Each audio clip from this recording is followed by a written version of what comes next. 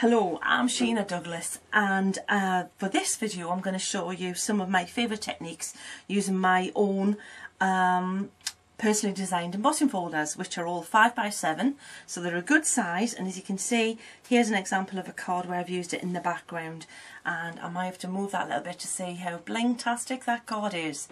Um, to be honest I was torn whether I should put something in this corner but you know what? Why cover it when it's so pretty? So that's an example there um, let's look at another example here. Um, another one of the folders, as you can see, used in the background there. Again, um, rich colours, works great with your Illuminart backgrounds, and um, perfect. All right, and then finally, another one I want to mention is this here. We've gone all shabby chic. Um, if you look here, I've embossed the background, I've also embossed onto acetate and highlighted that. So I'm going to show you how to do that. So in case you're wondering, this is what the folders look like. This is what you're looking for. You can see, they're a good large size and the retail on them is really reasonable. I think you'll be really shocked when you see how um, such a low price they are. Um, Okay, so let's get cracking. So the first quick and easy technique I'm going to show you is this background here, which I think looks like old plaster. It looks really looks, looks like old, like, you know, the old chalky paint and plastery look. If you can't see that as much, here's another example of it. I just love that, that really distressed, shabby, very pretty, shabby chic look. So it's really easy. How we do that is, um, let's use the swirl folder for this one. Um, and you're going to need some, I use some watercolour card because it's already got that bit of texture and it really just holds the shape. Uh, it just works for this technique, I think, really well. Now, I'm going to ink up the actual folder. I'm going to ink the raised bit. So this is the positive, that's the negative. Get used to reading your folders. Just feel across them. This is the raised bit. So I'm just going to go ahead with my distress ink and just go over the whole thing. I'm using, in this case, it's antique linen. Any of the really pale, pumice stone would work great for this. Even if you wanted to use like the pale tattered rose or something, if you wanted it pinky. Now if you want this all perfect and smooth, you would brayer this on. So use a brayer to pick up the colour and then roll your brayer onto the folder. But I'm not bothered because I want this to look a little bit just distressed looking anyway and not perfect. So that's that. Then that's going to go in there in my folder, shut it, and then I'm going to run this through my um, Grand Calibur. Now I'm going to go off screen to do this, but I will tell you that the sandwich before I do it is your grey mat, it's your embossing folder, so to base plate, your embossing folder, about three pieces of card I've taped together, and then your raspberry plate. That's how I'm, I'm using mine. Okay, I'm off to do that, and I'll come back in a sec. Right then, so there it is, the um, folder, and let's have a look what it looks like. So you see when you take it out, fab, love it. Absolutely love that look. I just think it suits that design so well and what I would do obviously is trim it down. So trim around in your guillotine. Um, but I just I think that's a perfect backdrop for a pretty pinky rosy shabby chic looking card absolutely spot on. So that's dead easy. That's one thing to do. Love that. All right moving on to another. If we want to create um, a really nice wood type background um, for example this one here using the, the wood finish um, folder I would use distress inks and this is what I'm going to do. So I'm going to take, first of all, some, this is sent to Centura Pearl card, the reverse side. So to create the wood type background, I've chosen some nice warm, what I think are woody kind of colours. And this is the kind of thing we can do. We could add a little bit of red in that as well, why not? Alright, so this is the technique that you might have seen me do before. Need some distress, um, some cut and dry foam. And we're literally just going to splodge colour onto the card like this big bold splodges of colour all over. So I'm using Rusty Hinge at the minute because I think that's just a nice warm kind of woody colour. I'm not going to do the whole thing, I'm just going to come back and catch up with me in a minute. Let's use some olive in there as well, it might have a bit of a greeny colour tone in there. Why not? And the other colour I'm going to use is, I think I'll use Vintage Photo, keep it really more of a warmer tone than the um, Walnut Stain. So either Vintage Photo or One, one Stain will work great for this. Now this is what I'm going to continue doing and you're going to come back to me in a minute. Okay, so what I've done is I've covered the whole of the surface there with the ink and you can see it eventually just starts to blend in. One thing you can do is just spritz it with some water or even better, drop some water on with your hands but make sure you drop the water down, you know, don't want to flick it because we want some drops on here, not splats. And then immediately just blot it and you get some texture in the background as well. I just like just that little extra stuff going on. You've got to kind of try it out because some it's depending on what your card's like and depending on how long the ink's been there, you might have to leave it longer or or um or not as long. I've just realised the reason that didn't come off like the water is I've just spritzed it with my Luminart Pearl Spray. I bet you would never have known if I hadn't fessed up there. That'll be prettier again. Okay, that's better. Say we've got some real good marks and stuff in there. I just like that. It just, again, I think layering and texture is all interesting. Now, I'm going to run that through the um, through my Calibur or big shot or whatever, or Cuttlebug, whatever you've got, um, with the wood grain, and then we'll come back. Right, so that's gone through the machine now. So remember, we inked it up and then we put it through and now we've got the base colour which is all nice and interesting but now what I want to do is highlight these raised areas because they're not showing up enough for me. So what I'm going to do is go back to my cut and dry foam. I'm going to pick up some of what dark colour like vintage photo or even um, walnut and go just over the surface and hopefully what will happen is you'll start to see the raised areas really picking up the colour so I'll just go over, I'm going to go over a little bit with this and then I'm going to come over with black soot as well. So hopefully even on the camera now you can see where it's starting to pick up the green but that's use it lightly. You don't want to press it into all the little nooks and crannies.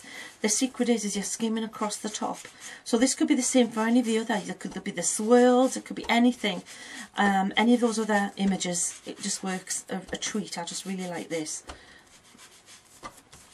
Okay so we've got some of them picked out there highlighted but I really want to darken that a lot. So now I'm going to go to some black soot really. Give it some welly especially around the sides because we can emphasise that nice vignette look by concentrating more around the edges.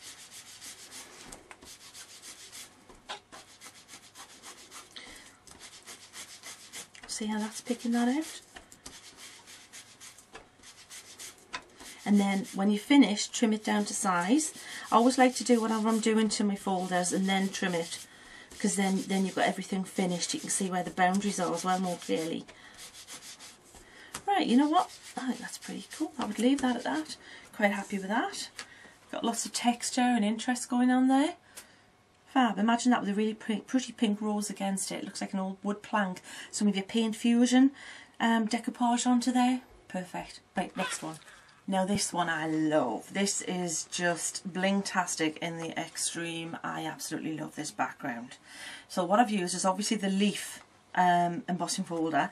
I've pre-sprayed the background with some Luminart, the, sh the shimmer mists and the colours I've used um, were things like the this one is key lime I used a little bit of the um, teal zircon and I may have even put a little bit of the old blue flame in there around the edges so just spray some card and then emboss it and this is the kind of, this is the next stage. This is what I've done with this one. Different colourway, but I thought we'd see how it looks, okay? So you can see, just sprayed background and embossed, and the leaves are on there. The next thing that's going to make these really pop out is this. This is the um, the colour concentrate from um, Luminart, or the, the, the dabbers. So give it a little tap, get the mica mixed up, and then what you're going to do, it's dead easy. You're going to press it down to get the pump action working and then just go ahead and bling over your, le your leaf area. And what will happen is if you just keep rubbing over the top it should actually highlight the raised area as well. It's such a really simple but effective technique. And the more you go over the more mica clings to that raised area. Love it ooh this is going to be pretty colourway as well now it's it's going to flood. It's not a precision application. You're going to it's going to kind of um, you know catch around the outside of the area of those images as well. But that doesn't matter. I think that just adds to the appeal of it. I just think it's so pretty. See, I'm just pumping it stamp. Well, if it gets too wet, just don't pump it the next time. You see, there's quite a bit come out there. So there's probably enough in the dabber to do the next one, and there is. So don't press down if you don't want the ink to cut the um, the mica ink to come out, just light pressure. And then when you need to activate it again you just press it down again. So there we have it. All I did was continue with the other leaves. I've dried it. Almost. Still a little bit wet which is why it's a little raised in areas and trimmed it. And I just think that is just absolutely jewel like I love it. I just think that's a great effect. Okay one more right so the final thing I want to show you is this acetate how you can emboss the acetate but colour it as well. Um, you can see it's an overlay on this card and again I think it works great with the shabby chic look. So if you didn't get that there's a one with the leaves as you can see. Okay? And there's one with the swirls. Very um, again pretty shabby chic. Okay? So how we do that is we need to get an um, embossed acetate sheet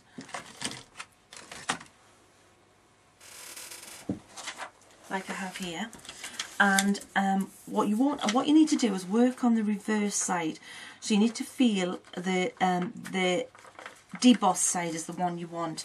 Then you want to take some of your Pebeo white or even the antique white acrylic paint would be great. I'm not going to do the whole thing, I'm just going to show you quickly how I do it. And you're going to paint in the little bits. Now these lights I'm working under are really hot so I'm only going to do it probably a bit at a time. So you paint in the bits and then you get some paper preferably clean and you're going to just wipe over the top. And hopefully that's going to leave you some paint in the recesses. Now if it's not coming off like you see that's dry already um, just dampen your paper towel there you go now I like it if you've got a little bit of the paint left behind to be honest see where it's a little bit streaky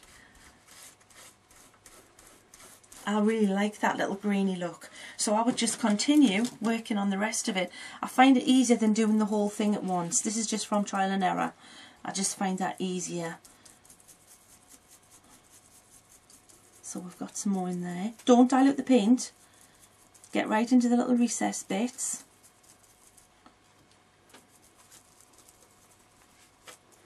Then get back in with your towel and just wipe over it.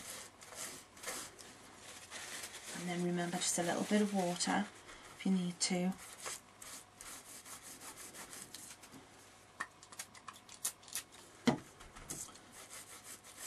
Comes off really easily when you if you really wet the tissue. So it's up to you how much you want to leave on and how much you want to take off. It's a balance between having some white on the background um, or removing too much of the recessed bits I quite like the look of having some of that little streaky white bits on the background because I think against a you know another background it's just going to look really fab. You see? So that's how we work with the acetate.